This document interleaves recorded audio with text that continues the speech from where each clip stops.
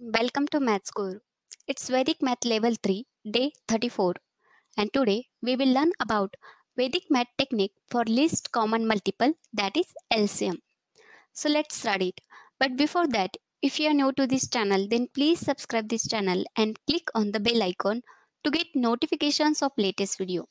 Also, don't forget to like, share and comment for this video. Let's solve first example on least common multiple that is LCM. Example is find LCM of 6, 18, 36 and 72. To solve this example by using Vedic math technique, we need to follow some steps. So first of all, focus on biggest number which is 72. Now check out 72 is a multiple of remaining number or not. For that, we need to divide 72 by each and every number. So first number is 6. 72 divided by 6 is equal to 12. Complete division is possible so that 72 is a multiple of 6. Next number is 18. 72 divided by 18 is equal to 4. So 72 is a multiple of 18 also.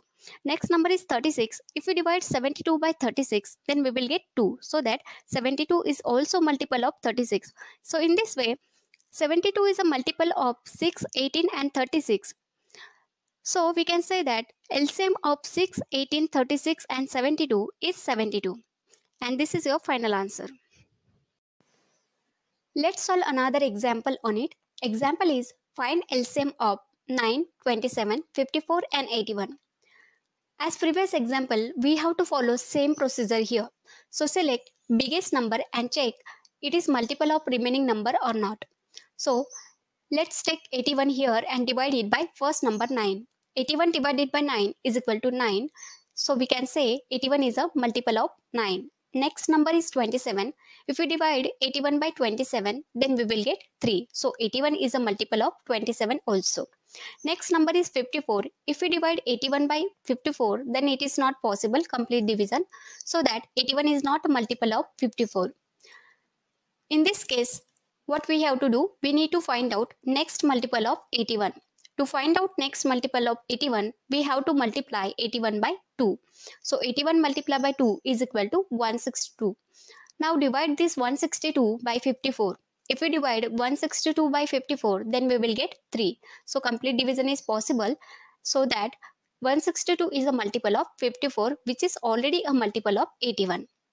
And we know 81 is a multiple of 9 and 27 also. So that 162 is also multiple of 9 and 27.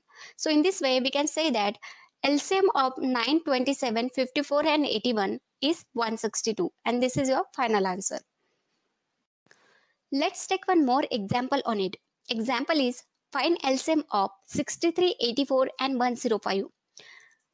If you observe this example, then you can understand the biggest number 105 is not a multiple of 63 and 84.